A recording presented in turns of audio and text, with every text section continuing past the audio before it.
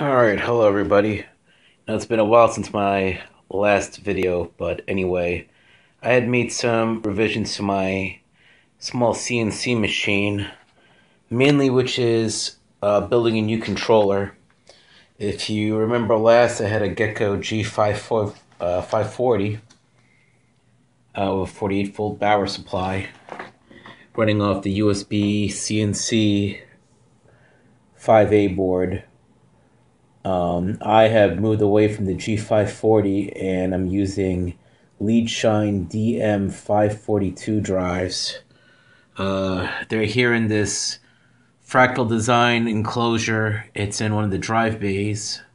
Uh, you can see the brass screws that hold each drive up. It's hard to see the drives. Uh, you can see a little bit of them over there. But anyway, I'm using these wall warts to power the fans and the uh, the USB CNC board. For now, uh, I'm going to make my own circuits as soon as I have the time. But anyway, to make things easier for me, I got a CNC 4PC simple breakout board, which made the wiring pretty easy and will make things easier when I do the homing switches and such and connect to uh, my Super PID, which uh, I don't have hooked up yet to the USB CNC board. As you can see, here's a 48 volt power supply. This fractal design case is a pretty cool case for a contr control box. Not that big, of course, bigger than the uh, Gecko 540 box that I did have, but it's okay. Anyway, uh, these Leadshine drives are all digital, so at standstill, they definitely a lot quieter than the Gecko 540 box. Way less hiss, the same size power supply, and um, I get faster rapids. I'll show you here. Here's the USB CNC screen. I'll uh, wrap it across. As you can see, that's 420 inches a minute on all three axes. I'll uh, show you what that looks like. I have the acceleration set at 40. Now, the USB CNC allows you to jog at half speed. Oops. That's 210. And it's slow speed. Uh, there's three set speeds. There's also a manual jog mode where you can set the jog to uh, up to 0.001 increments, which is great if you're uh, lining up work and the UI for USB CNC is pretty cool. You can, I don't know if I could do this with holding camera. Uh, you can pan and tilt even while the job's going, which is nice. You can't do that with Mach 3. It's uh, fully OpenGL compliant too, so uh, it runs pretty quick if you have a decent sized uh, graphics processor. Anyway, I'm going to jog this to the center here and I'll run this test program. It's just a uh, it's just a uh, vcarve file that I'm using just to show you this machine in action. Let me just set the Z up safe so I don't crash into my machine.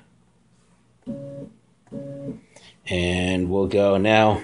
I'll be moving up to 420 inches a minute uh, during rapids. So, anyway, tells you to load the tool here in the uh, GUI.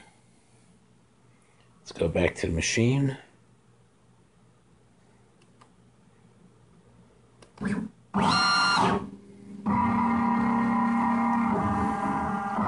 I got this chop thrown at 60 inches a minute feed rate. Uh, just arbitrary. So at 420 inches a minute with my uh, 4 TPI lead screws, that's 1,680 RPM on these uh, Kollmorgen stepper motors, which is pretty quick for a uh, stepper motor. And they do run hot, but not excruciatingly, excruciatingly hot with that uh, with those rapids. But they're they're very smooth, and they're actually capable of 3,000 RPM uh, with 72 volts. But it's probably a little uh, more than I want, and I'll probably lower the rapids to about 250 to make things a little more manageable as far as the heat. Although my stepper motor mounts are uh, solid quarter inch aluminum and have these steel standoffs, which kind of act as a heat sink for the steppers, so that helps. As you can see, the movement's pretty smooth. Uh, 3D movement with these DM542 stepper drives. Definitely uh, smoother operating, capable of 51,200 steps per inch, uh, steps per revolution, which probably is not necessary for this application. Um, as you can see here, the user interface allows me to move this as the job's going. In fact, I have the internet running and CNC zone running uh, in the background. So, and the calculator. And I had my CAM program up running before. So, it's definitely a. Uh, a very powerful uh, driver board. They're not cheap. I think it's a 200 something euros plus shipping. But for the money, I think it's one of the best drive boards out there. Of course, building one of these will take a lot more time than a G540 where you just plug in a power supply and plug your uh, stepper motors in and you're done. This requires some wiring. Uh, the auto tuning for the DM542 is pretty straightforward. Just move the uh, dip switch on uh, switch number 4 up and down real quick and it automatically tunes each motor to the proper current. Uh, I think these are 3 amp motors and it auto, auto tunes them so it saves you a bit of fudging around instead of uh, setting dip switches. And uh, I think that's it. Uh, I have to make a back plane for the uh, DB9 uh, receptacles. And I have to install limit switches and home switches. So that should be uh, hopefully soon. And going to start doing some jobs again on this machine. I have a couple jobs lined up, so I'm, I'm pretty happy with the performance of this setup. Really powerful. Uh, I think a lot more powerful than my Gecko drive setup, though, like I said, it's probably a bit more complicated.